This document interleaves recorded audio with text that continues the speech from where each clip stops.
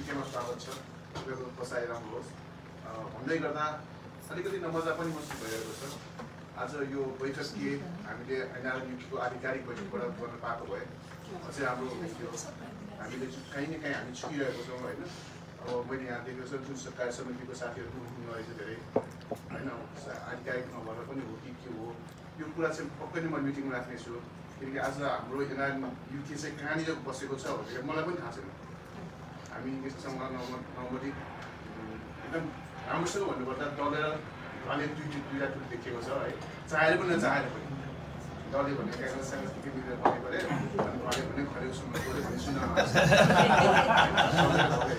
अब हाम्रो एनआरले युके कहाँको त? डलेर अब घले कुन चाहिँ टिम हो? स्पष्ट रूपमा हामीले बोल्नुपर्छ।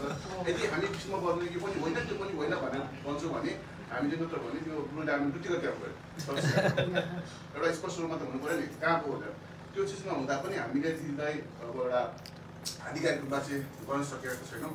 हाम्रो आफ्नो कमजोरी हो त्यसलाई म चाहिँ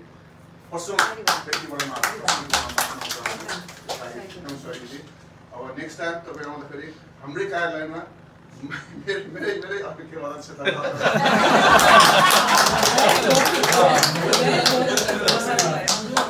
भन्छ रूपमा दिनु होला होइन अन्यथा रूपमा नदिनु होला र यति भन्दै तपाईँलाई फेरि पनि स्वागत गर्न चाहन्छु धन्यवाद थ्याङ्क यू